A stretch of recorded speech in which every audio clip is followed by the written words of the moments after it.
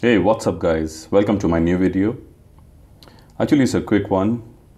Sometimes it's really annoying that you want to use your iPhone and the screen gets turned off automatically. And uh, I find it like a bit annoying sometimes. But there is a very easy solution for that.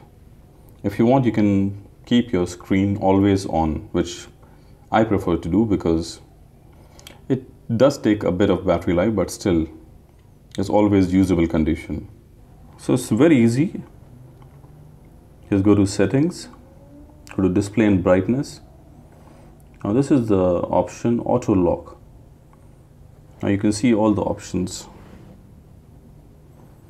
You can choose any of these options. You can choose for 30 seconds, which normally by default Apple releases it, or one minute. So within one minute, your screen will turn off automatically if it's idle. But for me, most of the time, anyways, iPhone 6s Plus or 7 Plus has a very good battery life, so it does take a bit of battery life, but it's not much of a difference. But I prefer to keep it always on. But if you want to turn it off, you have a power button. So you can turn it off. So just a quick one.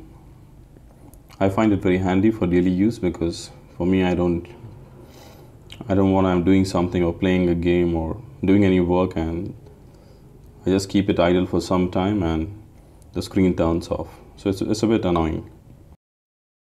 That's all guys, thank you for watching and uh, see you in my next video. Kindly subscribe to my channel if you like the video and hit the thumbs up. See you in my next video. Till then, goodbye.